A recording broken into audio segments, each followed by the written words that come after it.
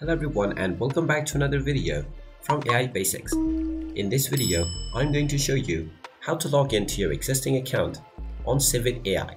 So let's get started right away.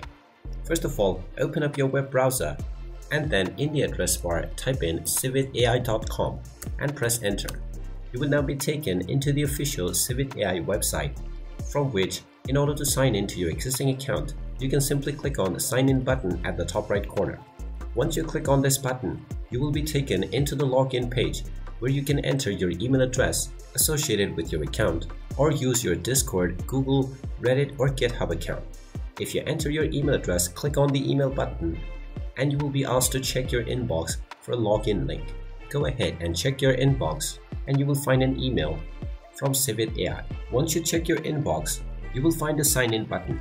Go ahead and click on it and now you will successfully be logged in to your account on Civit AI.